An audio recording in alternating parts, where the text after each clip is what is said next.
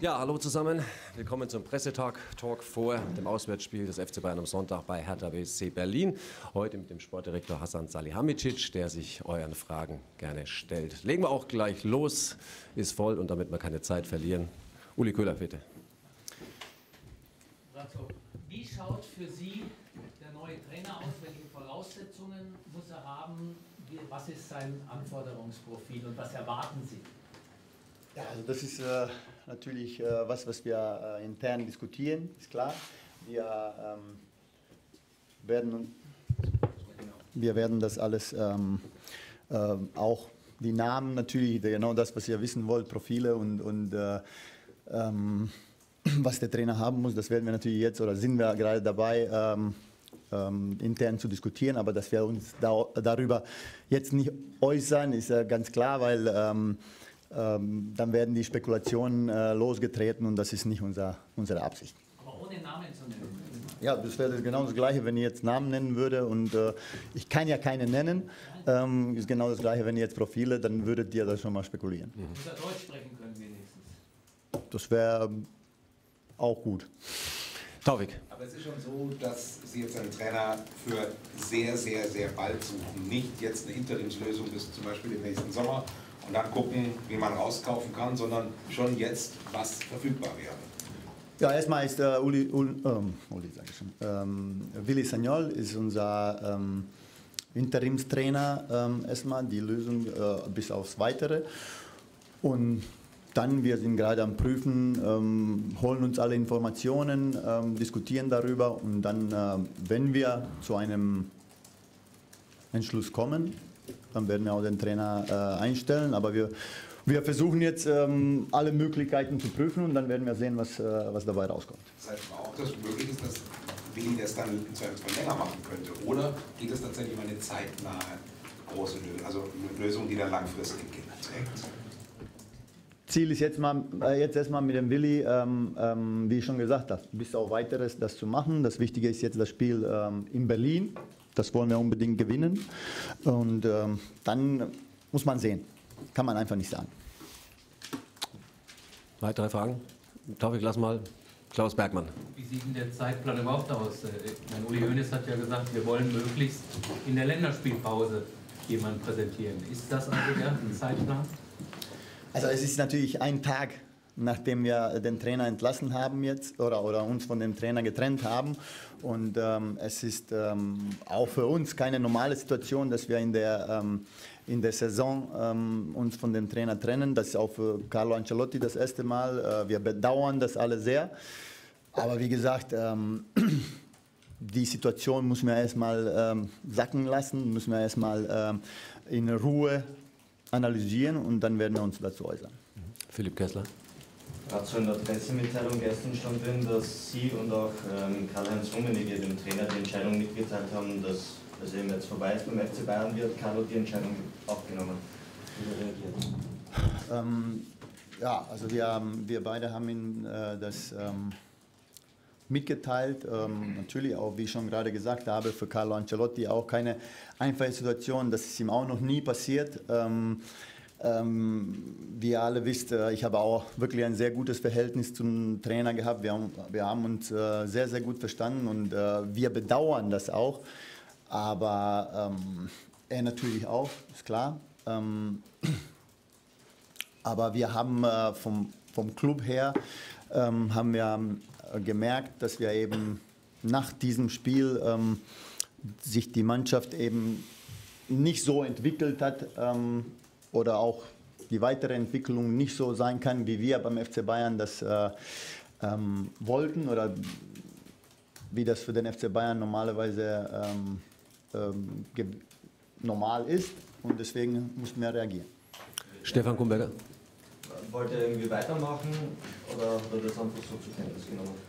Ja, natürlich hat er das zur Kenntnis genommen, weil ähm, er hat natürlich auch gesehen, dass wir auch Probleme hatten. Klar, dass, äh, dass wir nicht so gut gespielt haben, wie wir alle erwartet hätten. Und ähm, klar, ähm, dass, man, dass man dann äh, das bedauert, aber wenn die Entscheidung getroffen ist, dann nimmt man das hin, ist so klar. Stefan Kumberger. In der ähm, Pressemitteilung wird Karl-Heinz Rummenigge so zitiert, dass die Leistungen der Mannschaft ja die ganze Saison über nicht gestimmt haben. Also das Paris-Spiel war zwar der letzte Tropfen, aber nicht komplett ausschlaggebend.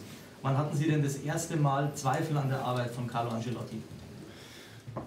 Also es war ja nichts geplant. Wir haben das beobachtet und äh, ja klar auch mit Sorge beobachtet, weil äh, äh wir, wie ich schon gesagt habe, ähm, nicht gut gespielt haben.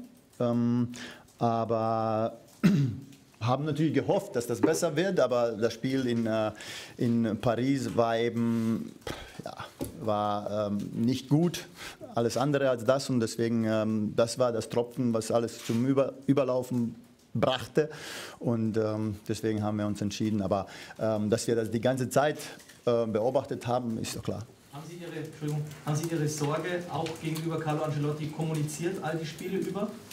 Dass Sie gesagt haben? Wir haben äh, sehr viel darüber geredet, klar. Ähm, hat man ja auch gesehen, dass man äh, versucht hat, nach der optimalen äh, Formation zu suchen eben. Ähm, aber wie gesagt, natürlich habe ich, wie ich schon gesagt habe, ähm, mit dem Trainer ständig gesprochen, haben wir uns ständig ausgetauscht. Ja, und ja, wie gesagt, das Spiel in Paris war dann wirklich nicht gut. Manuel Bonke. Ratzo Uli Hoeneß hat gestern gesagt, ähm, fünf Spieler, die Carlo Ancelotti auf einen Schlag gegen sich gebracht hatte, sind ja auch nah an der Mannschaft dran. War die Stimmung in der Mannschaft wirklich so schlecht? Haben Sie es auch gemerkt, als Ohr an der Mannschaft auch?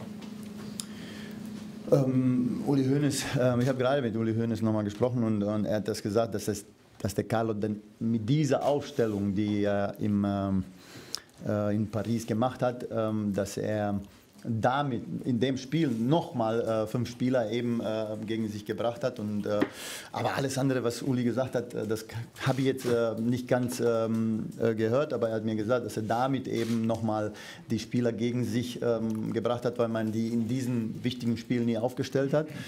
Und ähm, ja, ähm, ich, ich, denke, ja, wenn, wenn die Spieler natürlich nicht spielen, ist doch klar, dass die unzufrieden sind. Heiko Niederrhein. Ähm, ich ein bisschen was sagen, wie, wie das Team sich jetzt aufstellt um äh, Sagnol. Also was ist mit Co-Trainer, mit Fitnesstrainer, sind ja die anderen äh, Landsleute von Carlo jetzt auch mitgegangen. Wie, wie stellt sich das Team jetzt auf? Ja, ich habe dann ähm, klar dem Staff von ähm, Carlo Ancelotti das auch dann äh, gestern auch mitgeteilt. Ähm, Nochmal, ähm, was auch für uns nicht normal ist, dass wir uns in der Saison eben äh, von einem Trainer ne, äh, trennen, ähm, ist für uns alle ähm, eine schwierige Situation. Aber klar, Carlo und sein Staff, äh, klar, äh, betrifft das alle. Ähm, jetzt wird es so sein, dass ähm, Holger Broich und Tapalovic, ähm, Toni, ähm, auf der Bank sitzen und äh, auch Thomas Wilhelm, Wilhelmi. das sind unsere zwei zwei äh, Fitnesstrainer und ähm, Toni war sowieso auf der Bank eben und natürlich der Willi übernimmt das als äh, unsere Interimslösung. Uli Köhler? Es geht um diese fünf Spieler oder beziehungsweise um die Aufstellung. Fanden Sie diese Aufstellung auch quasi eine Provokation? Das war ja schon ein Hammer, weil er ja, sage ich mal, auch die Spieler, die dieses Bayern-Gehen in sich tragen, da war außer Thomas Müller dann gar keiner mehr auf dem Platz. Nein, das glaube ich nicht, dass der, dass der Carlo das als äh, Provokation gemacht hat. Er war absolut überzeugt äh, von dieser Aufstellung. Er hat äh, gedacht, ähm, dass wir mit dieser ähm, Aufstellung ähm, gewinnen können. Wir haben äh, leider das äh, Tor in der, in der, zweiten Minute schon gekriegt und, und äh, haben danach ähm, ein paar Möglichkeiten auch gehabt. Aber wie gesagt, ähm, der Trainer ist, ähm, ähm hat die Taktik so gewählt, so wie er, das, na, so wie er dachte, dass er am besten ist und ähm, ist schiefgegangen. Aber natürlich war das gewagt, ist klar. Und ähm, in so einem wichtigen Spiel, aber der äh, Trainer war absolut davon überzeugt. Marc Bayer. Wie ist denn jetzt die Stimmung in der Mannschaft im Hinblick auf Sonntag, im Hinblick auf die Saison? Ist die Mannschaft befreit? Hat sie irgendwelche, irgendein Feedback gegeben? Die Spieler sind gerade gekommen. Also sie haben das auch gestern äh, Nachmittag erfahren. Wir haben uns noch nicht gesehen. Ähm, äh, eins ist klar, dass ähm, jetzt haben wir uns vom Trainer getrennt und ich genauso, ähm, wie das Karl-Heinz auch gestern gesagt hat, ähm, erwarte eine ähm, Reaktion von der Mannschaft ähm, am Sonntag, weil ähm, jetzt gibt es auch keine Ausreden mehr, sondern ähm, das Spiel in Berlin muss gewonnen werden. Und da werden wir ähm, alles dran setzen, jetzt alle zusammen. Ähm, Willi äh, Sagnol wird die Mannschaft vorbereiten, wird die Mannschaft äh, so einstellen, dass wir, ja, dass wir Top-Mannschaft auf, auf, auf dem Platz haben und dass wir, wenn es irgendwie möglich ist, das Spiel gewinnen. Christoph Nah hinten. Aber es geht um die Reaktion der Mannschaft, ganz klar. Also was glauben Sie, warum ist Ancelotti in München gescheitert? Ähm, ja, das ist eine gute Frage. Ähm, es ist äh, schwierig, das jetzt äh, zu beantworten. Ähm, vielleicht muss man sich ein bisschen Zeit ähm, äh, lassen, um, um, über diese Sache ähm, ähm, sich Gedanken zu machen. Ähm, eins ist klar, wie ich schon gesagt habe, dass wir vom Club gezwungen waren zu, zu, handeln, weil wir eben gesehen haben, dass äh, das nicht mehr, dass, wir, dass das nicht besser wird. Ähm, wir haben keinen guten Fußball gespielt in den letzten Spielen und äh, ähm, der FC Bayern ähm, möchte nicht nur gewinnen. Wir, spielen, wir haben ähm, ähm, Spiele gewonnen, klar auch ähm, mit deutlichen Resultaten, mit 3-0, 4-0, 3-0, aber wir haben Schwächen gesehen und dass wir das nicht gut gemacht haben, mussten wir reagieren. Man hat ja gehört, dass äh, Carlo Ancelotti auch deswegen geholt wurde, weil er sehr gut mit den Stars arbeiten kann. Viele große Fußballstars haben immer wieder gesagt, Carlo Ancelotti war unser bester Trainer. Warum hat das in München nicht funktioniert?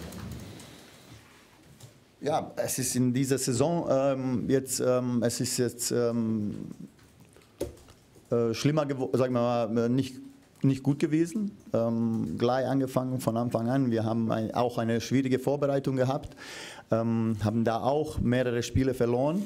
Ähm, es war auch keine, keine gute Atmosphäre in der Mannschaft. Der Trainer eben hat das nicht geschafft, ähm, ähm, guten Fußball zu spielen, diese Spieler ähm, so hinzubekommen, dass die, ja, dass die feinen Fußball spielen, so wie wir eigentlich gewohnt sind vom FC Bayern.